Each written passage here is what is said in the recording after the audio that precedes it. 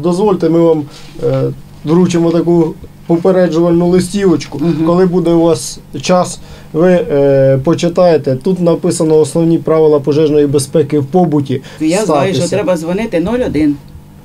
Ні. А чого? А того, що Пожежа. 101. Ой, правильно, а я 0. 101. правильно. Поліна Іващенко розміняла восьмий десяток. Проживає під Полтавою в приватному будинку, має газове опалення. З котлом, каже, поводиться обережно, стежить, аби не було витоку газу. То я завжди провіряю тягу. Тут також, як, як виходжу з дому, то виключаю всі е, ці і виключаю, і, і котел у мене теж не горить. Любов Олексіївна топить дровами, економлячи газ. Боже, збав, щоб запах чаду чи яку. Дуже обережно і як то так, помірковано відносимо до цього. Нічого не розтопляємо до, до розкалу. А собі тепло.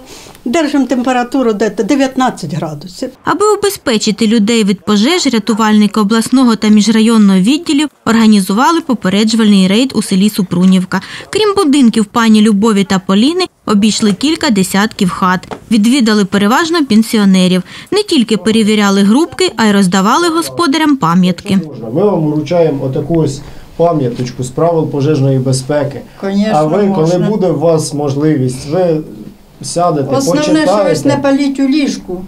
Так, Я, ну, я це точно буду додержуватися. Цього разу рятувальники значних недоліків не виявили, каже інспектор Дмитро Васенков. Людям пояснювали, як запобігти пожеж та правильно користуватися піччю.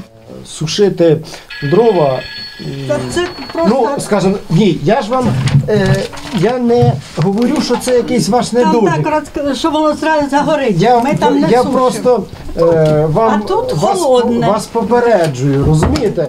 Початку року на Полтавщині виникло півтори сотні пожеж. 70% з них у приватному секторі. Загинули 12 людей. Найчастіше причини таких пожеж це необережне поводження з вогнем, неправильне влаштування електромережі або неправильне використання електромережі, порушення правил експлуатації е, пічного опалення, тобто пічей, і необережне поводження під час куріння на тверезому стані.